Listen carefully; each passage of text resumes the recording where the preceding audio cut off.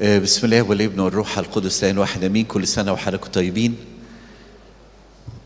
هتكلم معاكم على موضوع النهارده بنعمة ربنا يبان إنه غريب شوية وإنه بعض الناس ساعات يقول طب أبونا بيتكلم في الموضوع ده ليه؟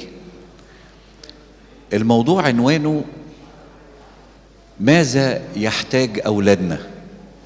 العنوان موضوعه كده ماذا يحتاج أولادنا؟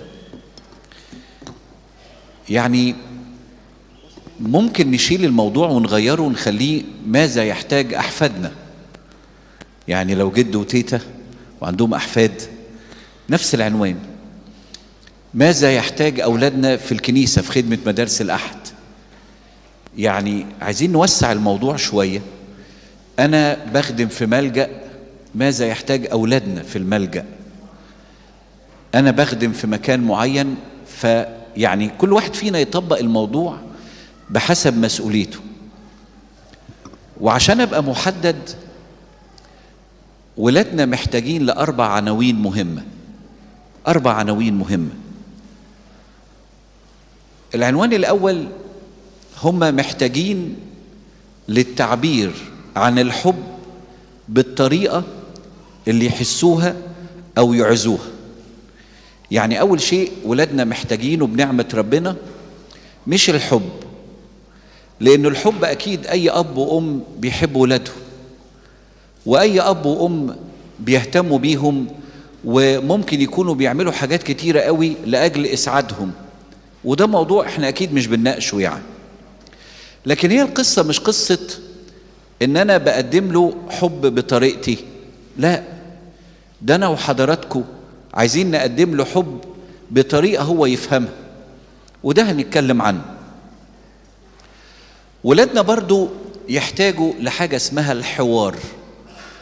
ولادنا محتاجين نتكلم معاهم. واحد يقول لي يا ابونا ده قدسك رايق قوي. حوار إيه في الزمن ده؟ وفي حد فاضي للحوار هو من ناحية الوقت في وقت. بدليل إن الوقت بيروح في مسلسلات تركي ومسلسلات هندي مش كده؟ ففي وقت للحوار ولا مفيش ماتشات كورة. ودلوقتي في ناس بتتفرج محلي وعالمي. مش كده؟ بقينا بنتفرج على ماتشات عالمية ونقعد نتفرج عليها بالساعات. يعني بنعمة ربنا في وقت ولا مفيش في. بس هو ترتيب الموضوع. فاولادنا يحتاجوا إلى الحوار. يبقى اولا يحتاجوا إلى إيه؟ مش الحب لأ. التعبير عن الحب بطريقة تناسبهم. واحد يقول أنت ليه مصمم تغير الموضوع؟ لأن أنا متأكد إن إحنا بنحب أولادنا وبنحب أحفادنا مش كده؟ يعني أنا مش بناقش أصلا محبتكم لاولادكم لأن أنا أب وبحب ولادي فأنا عارف الإحساس اللي جواكم كويس وبالتالي أنا مش بناقش ده لكن أنا هناقش إيه؟ إزاي أعبر بالطريقة اللي هم يعوزوها مش بالطريقة اللي أنا إيه؟ عايزها. ما ممكن النهارده أب يبقى شغال ليل نهار ومش بيشوف ولاده خالص عشان يجيب لهم فلوس ويدخلهم أحسن المدارس والكليات وفي الآخر مش هو ده بس اللي فارق معاهم. ممكن يبقى فارق معاهم إن هم يلعبوا معاه ماتش كوره ممكن يبقى اللي فارق معاهم إن ماما تاخد بنتها في حضنها لأن البنت عايزة حضن وبالتالي هتدور عليه فين يعني؟ هندور عليه بره؟ لا تاخده من مامتها أو من باباها أفضل. فخلي بال حضراتكم أحبائي إن ولادنا محتاجين للتعبير عن الحب بالطريقة اللي تناسبهم أو عايزينها. الحاجة التانيه هم محتاجين للحوار. نتكلم معاهم. الحاجة الثالثه هم محتاجين للحزم. يعني أنا مش عايز حد يتخيل إن لما بنتكلم عن الحاجة للتعبير عن الحب بالطريقة اللي تناسبهم أو التعبير عن الحوار معناها إن إحنا نبوظ ولادنا. معناها إن ولادنا يعملوا اللي هم عايزينه. لا ما ده مش مظبوط برضه. لأنه بعض الآباء والأمهات قدام فكرة إن أنا حنين على ولادي فبخليه ياخد اللي هو عايزه. بيطلعوا ولادنا وبناتنا متدلعين وعندهم مشاكل بعد كده. يعملوا لنا بقى مشاكل لما يجوا يتجوزوا ويتحملوا المسؤولية ده أصلا لو تحملوا بيبقى مشاكل ضخمة جدا. وآخر حاجة ولادنا محتاجينها ما أكدبش عليكم ودي برضو مهمة هو الحاجة إلى القدوة. محتاجين إيه؟ قدوة. محتاجين يشوفوا في بابا وماما إن هم نموذج كويس. محتاجين يشوفوا في الخادم والخادمة إن دي ناس بتحب المسيح وبتقرب منه. محتاجين يشوفوا في الخادم بتاع الملجأ أو المسؤول عن البيت إن ده بيحب ربنا وحاطط مخافة ربنا في قلبه. وإلا علم زي ما أنت عايز وقول اللي أنت عايزه ولو ما أنتش بتتصرف بطريقة تمشي مع كلامك الناس مش هتصدقك. يبقى أولادنا محتاجين كم حاجة؟ أربعة. أول حاجة محتاجين للتعبير عن الحب بالطريقة اللي تناسبهم الحاجة التانية محتاجين إلى إيه؟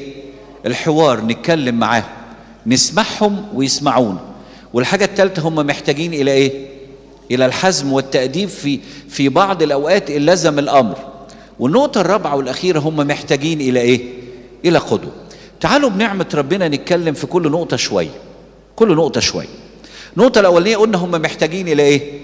التعبير عن الحب بالطريقة اللي تناسبه أنتوا عارفين في كتاب كان زمان نزل ومشهور جدا بيتكلم وعلى فكرة ده لينا كلنا.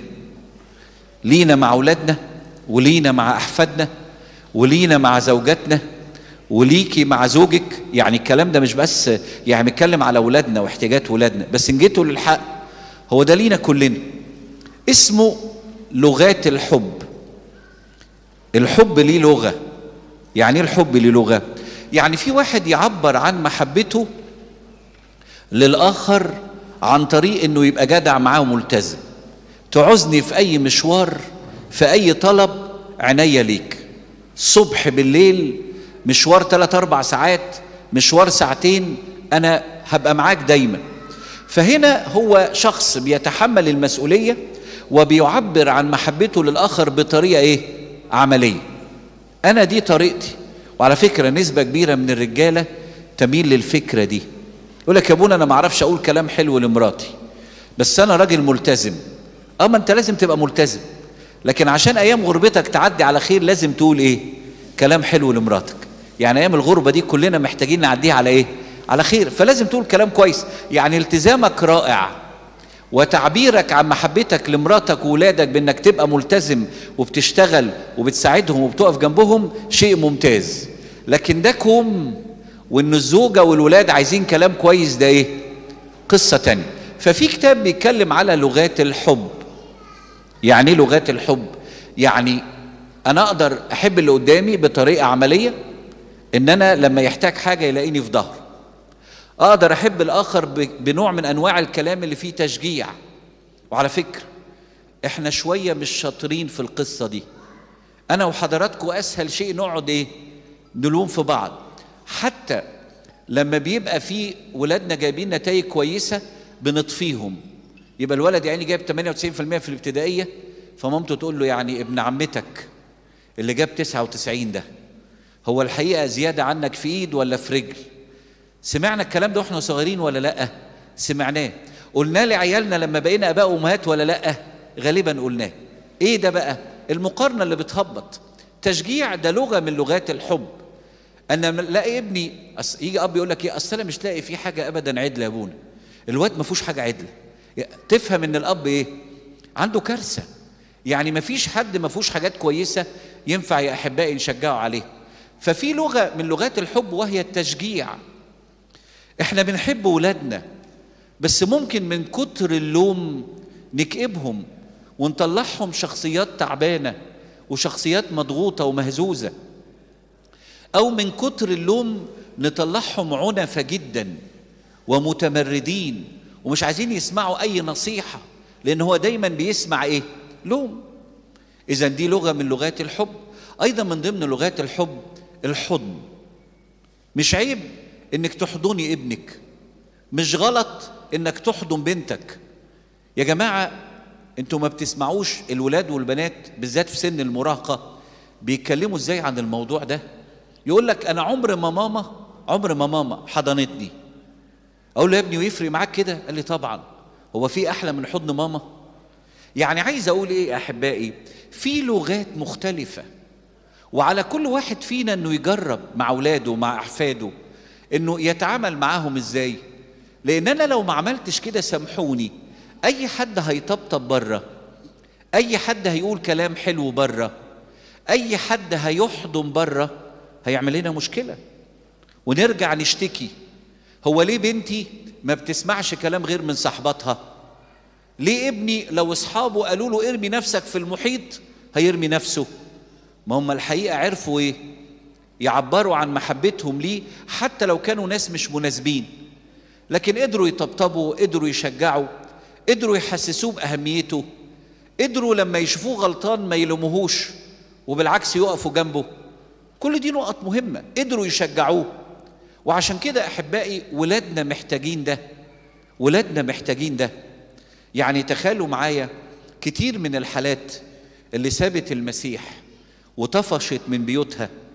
كان السبب كده إنه قاعد في البيت طبعا ما فيش سبب يخلي الإنسان يسيب المسيح لكن عايز أقول من ضمن الأسباب النفسية الكتير إنه الشخص ده كان حاسس إنه موجود في البيت وملوش إيه؟ ملوش قيمة لا حد بيقول له أنت غالي وبالعكس عمال يتكسر في مقاديفه ويتريق عليه ويتقال له كلام سلبي كانت النتيجة إنه إيه؟ طفش ولقى ناس بره بيطبطبوا عليه يقولوا له كلام حلو وعينينا ليك وتعالى وهنخليك فوق راسنا وانت حلو وغالي وهنقدرك. كانت النتيجة إيه يا جماعة؟ إنه وقعوا في مشاكل. أول شيء يا أحبائي خلوني أنا وحضراتكم نصلي لربنا ونقول له يا رب ادينا حكمة. وعرفنا يا ترى اولادنا محتاجين نوع الحب اللي يناسبهم إيه؟ لأن كل واحد غير التاني. أنت ممكن تيجي تحضن ابنك يقول لك لا يا بابا أنا ماليش ما تحضنيش مش بحب كده. خلاص ما تضايقوش. قد يحب إنك تلعب معاه ماتش كورة. قد يحب إنك تقعد تسمع معاه حكاويه.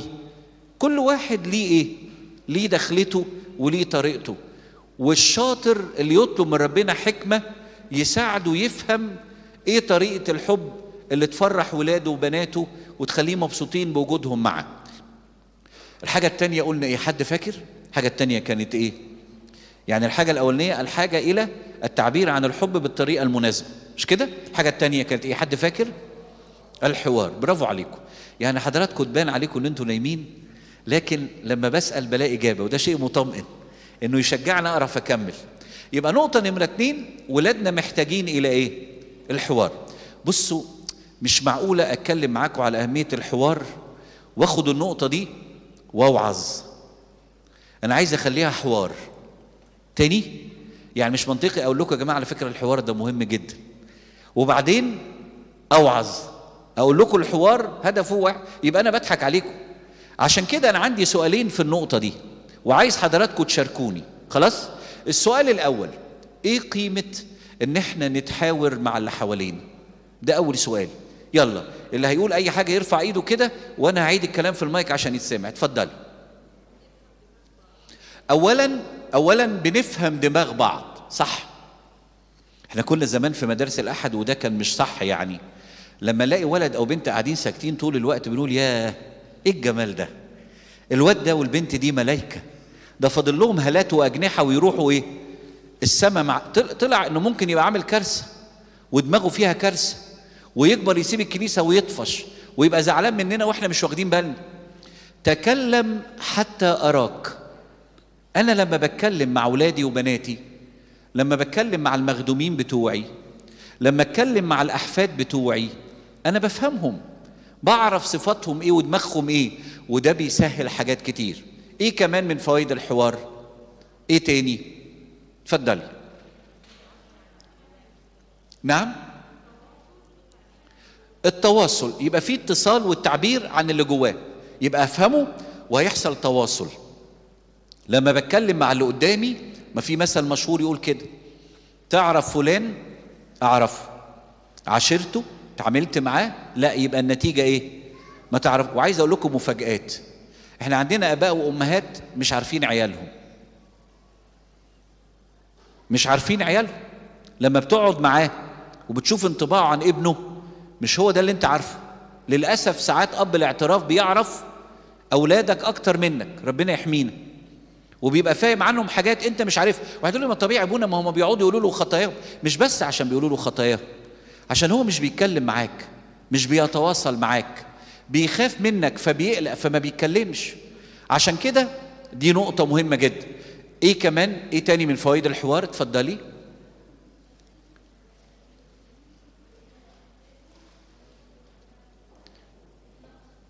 أنا أنا مش سامع قوي ممكن حضرتك تعلي صوتك شوية؟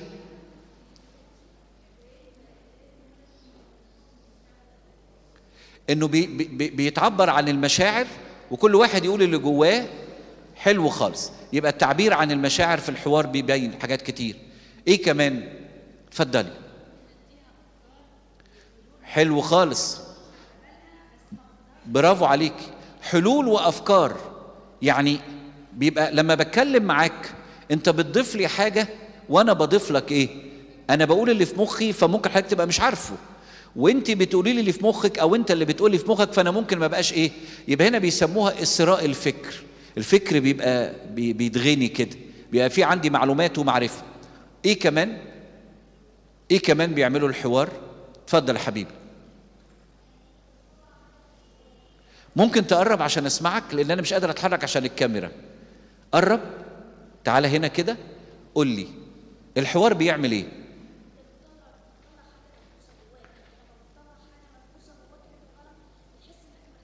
برافو عليك. انت اسمك يا سكر يا عسل.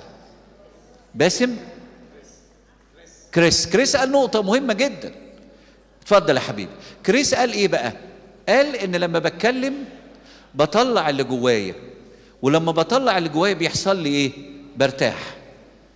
على فكرة بره مثلا تلاقي آه، أي حد عنده دكتور نفسي وهناك بره منتشر قوي. هنا موجود وده مش عيب على فكرة.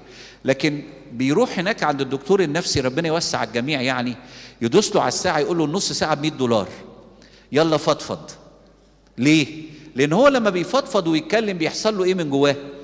فأنت ابنك وبنتك لما يتكلموا معاك حتى لو ساعات ما عملناش كل اللي هم عايزينه وبيحصل لهم إيه؟ بيرتاحوا. بيرتاحوا. اذا الحوار مهم ولا لأ؟ طب سؤال تاني. سؤال تاني. إيه اللي بيخلي حد يندم؟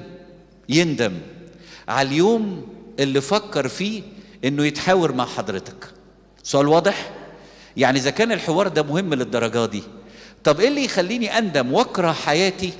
وأكره اليوم اللي فكرت إن أنا بنعمة ربنا أتكلم معاك؟ يلا قولوا لي إيه اللي يبوظ الحوار؟ يلا اتف- اتفضلي. بس علي صوتك عشان نسمع اتفضلي.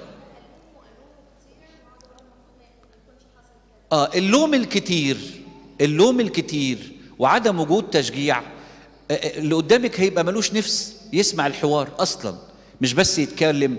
لما أقعد ألوم على طول اللي قدامي مش عايز يسمع. إيه كمان؟ إيه تاني؟ اللي يبوظ الحوار؟ اتفضلي. العنف. أو بيسموها أسلوب الحوار. يعني إيه أسلوب الحوار؟ في أسلوبين للحوار مرفوضين. الاسلوب الأول في شخص لما تختلف معاه في أي موضوع أو ترى تلاقي موضوع مش عاجبه تلاقي وشه احمر صوته عالي رجله اتهزت وفي عرق بينفر هنا. عارفين في كده؟ كل ما تختلف معاه تلاقيه إيه؟ وشه احمر صوته عالي رجله اتهزت والعرق إيه؟ معناها إيه بقى؟ لم نفسك. معناها لم نفسك. فتيجي تقول له يا ابني ما تقعد تتكلم مع بابا في الموضوع اللي مضايقك. يقول لك لا يا ابونا انت ما بتشوفش منظره. ده بيتحول زي أفلام الكرتون كده. يعني يبقى إنسان ماشي عادي فجأة يتحول لطيارة صاروخ. هيحصل مصيبة هننفجر كلنا. وبالتالي ده أسلوب يبوظ الحوار. عشان كده نقول دايما لو أنت مشدود أجل الحوار. صلي إن ربنا يديك فرصة إنك تاني يوم أو تالت يوم تهدى تتكلم. في نفس الوقت في أسلوب تاني للحوار. يعني في واحد مش هيتعصب لكن يعصبك. في واحد مش هيزعق لكن يفضل يستفزك لما يرفع لك الضغط ويوطي لك الإيه؟ وتلاقي فيه ابتسامة جميلة كده على بقه وشفايفه والسنان اللولي دي باينة. مش كده؟ وهو لا هيتعصب ولا حاجة. لكن يرمي كلام فيه تريقة وفيه نوع من الاستخفاف. وأيوة ما انت الوحيدة اللي فاهمة. أيوه ماما ما انت الوحيدة اللي عندك كل الخبرات. أيوه ماما ما انت انت اللي عندك كل المعلومات وإحنا اللي مش فاهمين. عارفين الطريقة دي؟ تلاقي اللي قدامك إيه؟ كره حياته برضه. مش عايز يتكلم معاك. وبالتالي فيها مشكلة. يبقى أسلوب الحوار محتاجين نراجعه. أنا وحضراتكم. يا ترى طريقتنا إيه في الحوار؟ إيه كمان بيبوظ الحوار؟ اتفضلي. آه إنه أنا لما بتكلم معاك أو بتكلم مع ابني أو ابني بيتكلم معايا تلاقي الدنيا اتفضحت. كل الدنيا عارفة تيتا عارفة وجده عارف وصديقه اللي في المدرسة عارف وصديقه وأب اعترافه طبعا عارف. يعني ما هو الفضايح دي هتخليه بعد كده إيه؟ ما, ما يفقد الثقة. وبالتالي مهم قوي لو أنا بأتمن حد على سر وبتكلم معاه ما نفضحش بعض. طب يعني لو في مشكلة عند ابني ما أقولش لأب الاعتراف قولي عناوين عامة وأبونا هيستنتج يعني. لكن هروح أفضحه وأقول عليه كلام ما تحتاج مراجعة. إيه كمان يبوظ الحوار؟ اتفضل.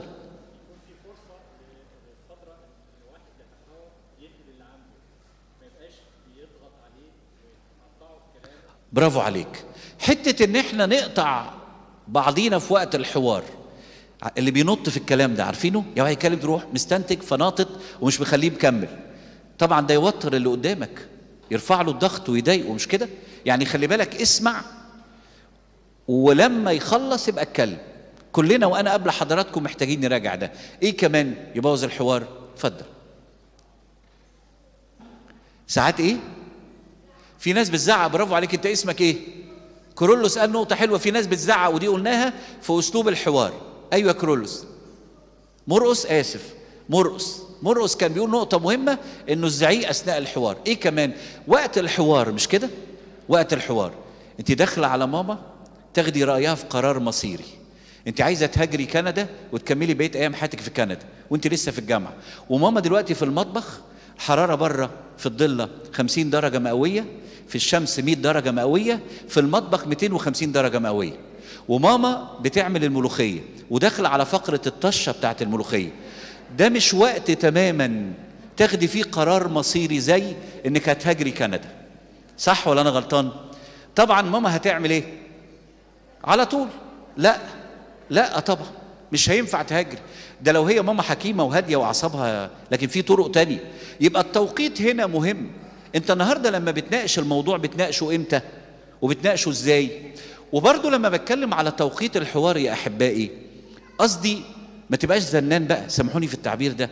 يعني في واحد يفضل يتحاور يكرهك في دنيته. يقول لك يا ابونا مش أنتوا قلتوا لنا نتحاور؟ طب استلقوا وعدكم بقى. يفضل كل ما يشوفك يفتح معاك نفس الموضوع. صبح. يا ابني برضه ما كل حاجة ليها إيه؟ وقتها. وبعدين انت لما تقعد تضغط تضغط تضغط تضغط اللي قدامك هيعمل إيه؟ طب مش هسمع بقى. ولو كنت ناوي أتفاهم مش هتفاهم. يبقى أعرض الحوار وسيبه شوية. يفكر. وبعدين نرجع تاني. الفكرة دي مهم. يبقى وقت الحوار. اذا في طرق كتيرة تبوظ الحوار. لكن يبقى شيء مهم. إن ولادنا محتاجين إيه؟ حوار. وعايز أقول لكم على حاجة أخيرة في حتة الحوار دي عشان وقتنا. الحوار عايز مرارة. الحوار عايز إيه؟ مرارة يعني إيه؟ يعني بال طويل. بال طويل مش كده؟ وعلى فكرة الدنيا مش بتدي مرارة. يعني الدنيا واللي إحنا عايشين فيها دي دايما بتعمل إيه؟ بتخلص على المرارة بدري بدري. طب يا ترى هل ربنا يقدر يدينا مرارة اديشنال يعني هل في مرارة إضافية ممكن أنا وأنتوا ناخدها في بنعمة ربنا. معلمنا بولس الرسول اتكلم عن ثمر الروح القدس في غلطية خمسة. وقال وأما ثمر الروح فهو إيه؟ فهو إيه؟ محبة فرح. طول أناة ده اللي هو المرارة. يعني دي المرارة. طول الأناة يعني روح ربنا لما بيشتغل جوانا ونعيش مع ربنا بيبقى عندنا بال واسع إن إحنا نعمل إيه؟ نتعامل مع كل ما قربت من ربنا كل ما كان في إمكانية إن أنت تطول بالك كل ما بعدت عنه بقيت عصبي متوتر مش عايز تسمع حد. إحنا قلنا حاجتين الحاجة إلى التعبير عن الحب والحاجة الثانية كانت إيه؟ الحاجة إلى الحوار. شوف وقتنا لسه قدامنا عشر دقائق كمان. هنكروت نقطتين في منتهى السرعة. الحاجة إلى الحزم والتأديب.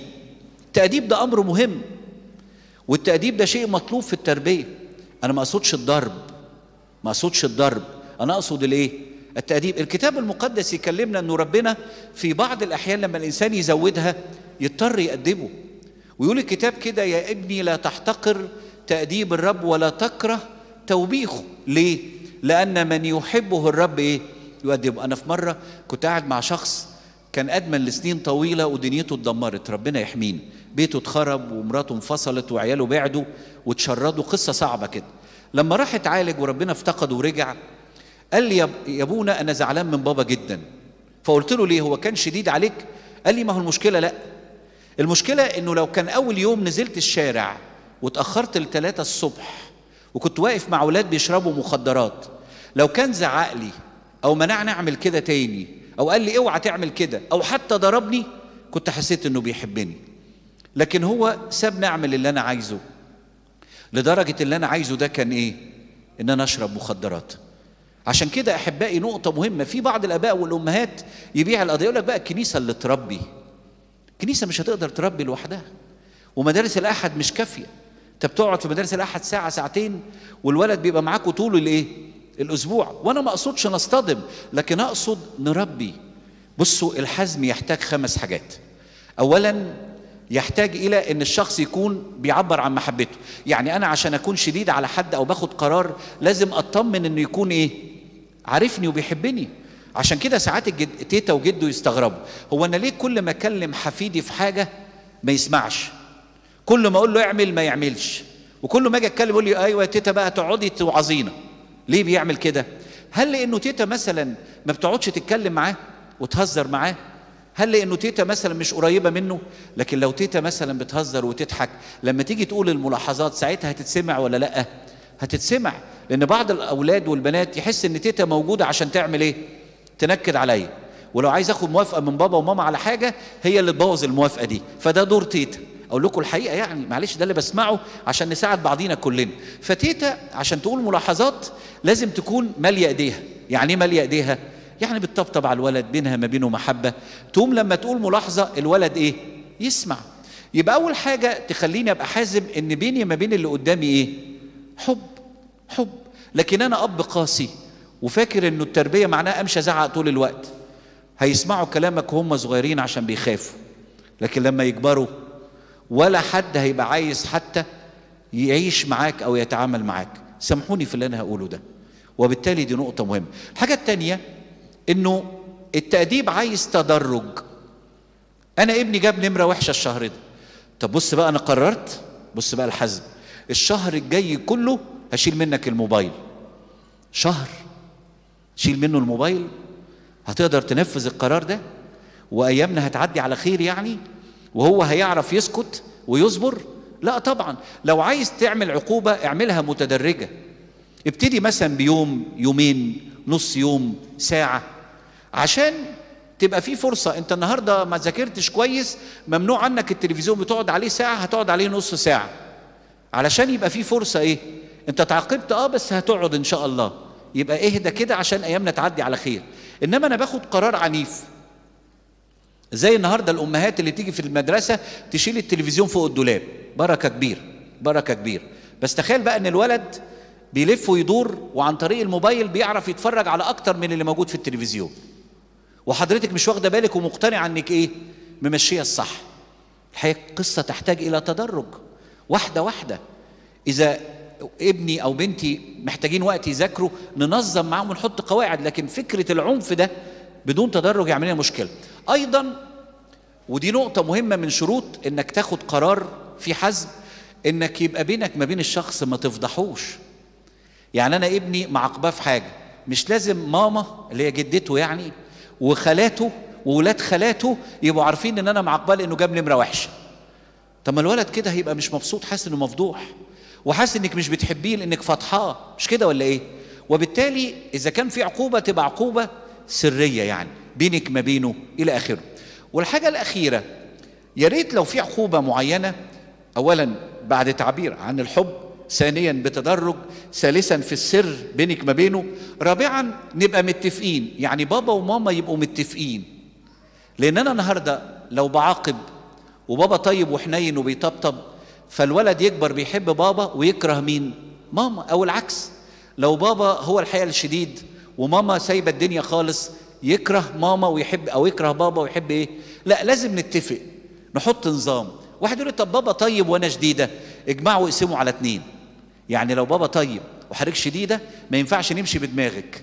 هنمشي بدماغ إيه؟ اجمع واقسم على اتنين. يعني لو هتقرري حاجة جديده خدي رأي بابا ونجمع ونقسم على اتنين. يبقى أولادنا محتاجين للتأديب ومحتاجين للحزم. هنتحاور وهنطول بالنا وهنحاول نوصل لحلول وسط. بس لو اللي قدامي بعد ما فهمت واتكلمت معاه حسيت انه مش عايز يتعامل مع الموضوع بالتزام هيحصل إيه؟ حزم. والحزم بالقواعد قلنا آخر حاجة اولادنا محتاجين قدوة. معلمنا بولس الرسول يقول لتيموساوس تلميذه كن قدوة للمؤمنين في الكلام والتصرف. وحاجات تانية. خلي بالكم إحنا ساعات كآباء وأمهات أو كخدام وخادمات بنبقى قدوة في الكلام. اوعى تكذب يا ابني. اوعى تشتم يا ابني. اوعى تغش يا ابني.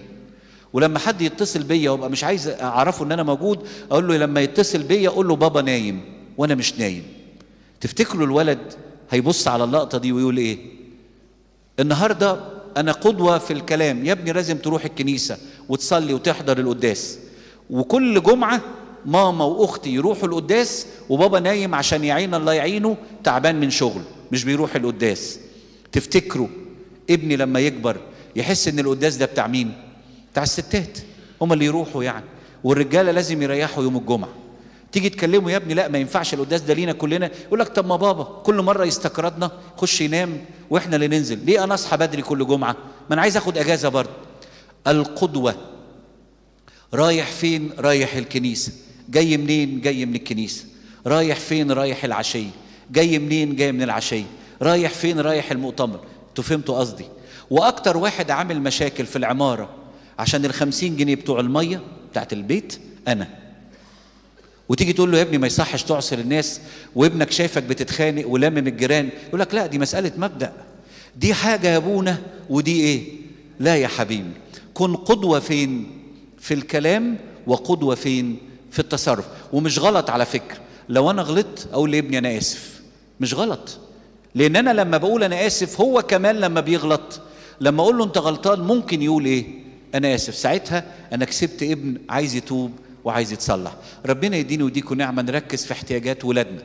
ولادنا اللي بالجسد ولادنا الروحيين ولادنا اللي في الخدمة أحفادنا ولادنا اللي ربنا أتمنى عليهم في الملجأ أي ولاد في أي حتة دول مسؤولية. ومن خلال إن إحنا قدوة ليهم ومن خلال إن إحنا بنقدم لهم حب يناسبهم ومن خلال إن في تأديب في بعض الأوقات ومن خلال إن في حوار نعمة ربنا تشتغل ويطلعوا بثمر 30 و60 و100 ربنا يدينا ويديكم نعمة إن إحنا نركز في الكلام ده لإلهنا المجد دائما ابديا أمين. تفضلوا نصلي. أمين الليل ويا دكتور.